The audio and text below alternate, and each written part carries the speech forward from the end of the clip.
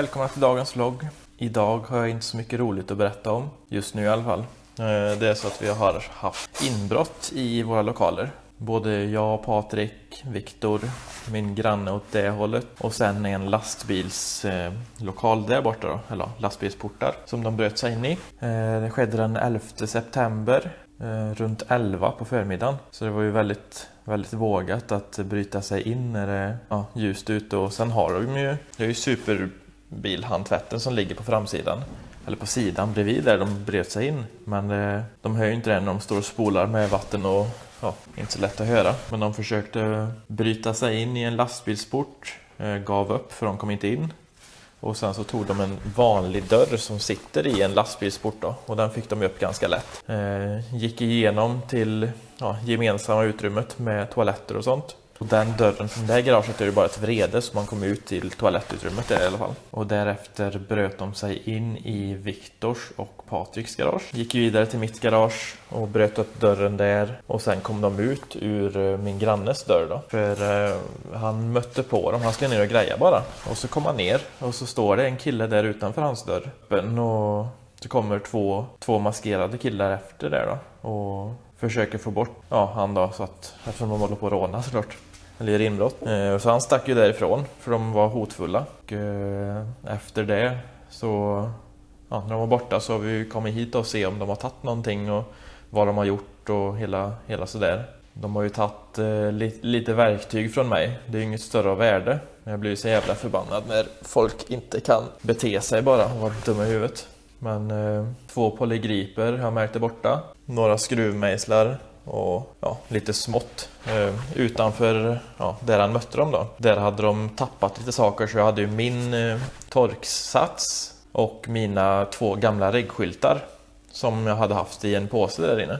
Låg utanför porten där borta. Så de har ju fått med sig lite saker från mig. Med allt, de hade en, tog en gul Ullaredspåse från mitt förråd. Slängde ur alla påsar och skit som var där så det såg ut som Hej kom och hjälp mig i, i mitt förråd. Och eh, sen har de tydligen dragit till fots mot veterinären och station i stan. Det var folk som hade sett dem eh, innan de visste att, det var ett in, att de hade gjort ett inbrott. Då. Och var okända, de kände inte igen dem i alla fall. Och sen eh, har jag fått lite info att folk har sett, sett dem på ICA-parkeringen runt 15 samma dag. De var ju lite, ja, stack ut i utseendet då tydligen. Det jag fick info om. Det var, nu kanske jag inte ska berätta hur alla ser ut men det var en med långt blont hår i hästsvans. Han var ganska lång och smal. Eh, hade tatueringar upp över halsen.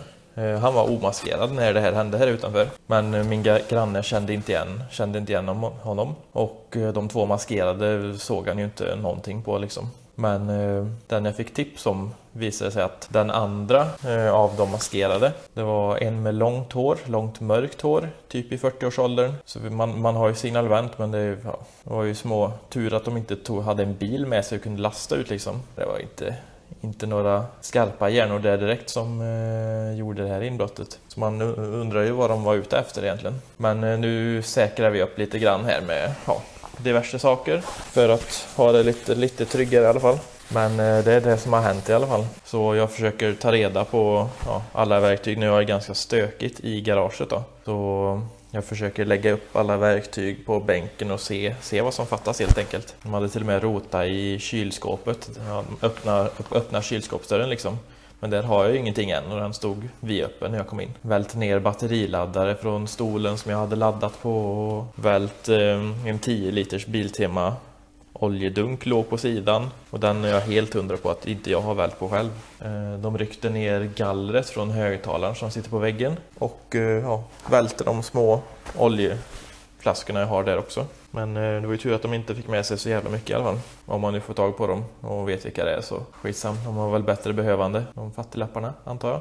Nu är det väl egentligen att städa. Det känns ju, man känner sig inte riktigt trygg när de kan komma hit mitt på dagen heller men vi ska, vi ska i alla fall få lite mer, mer lås och sånt så det Allting är fortfarande inbrytbart även om man skaffar nya lås och skit så det, ja, bara man har det lite säkrare gör det lite tuffare för dem.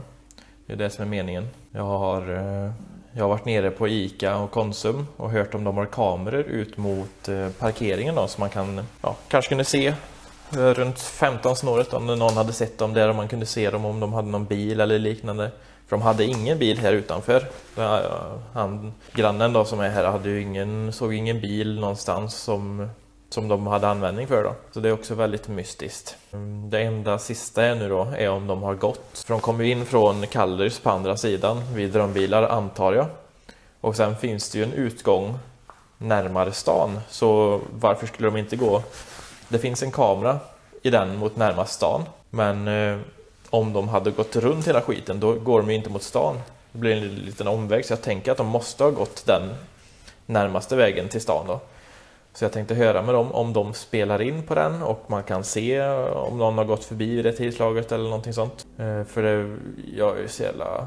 Jag är bara lite arg eller förbannad på folk och vill ju veta vilka det är. Bara för att veta liksom. Jag vet att det är en del från Åmål här också som kollar.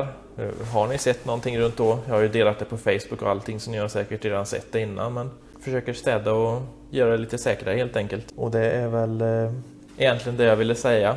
Under natten så är det här eh, området inhägnat, eller inhägnat är ju alltid inhägnat men låsta grindar försöker ju alltid ha alla, låsta, alla grindar låsta. Men det är inte så lätt ibland för en del glömmer eller de skulle åka iväg men så kommer de inte tillbaks. Jag vet inte. Jag stänger i alla fall alltid grinden när jag åker härifrån och ser till så att alla andra är stängda. Även om det är någon som är kvar då så stänger jag grinden.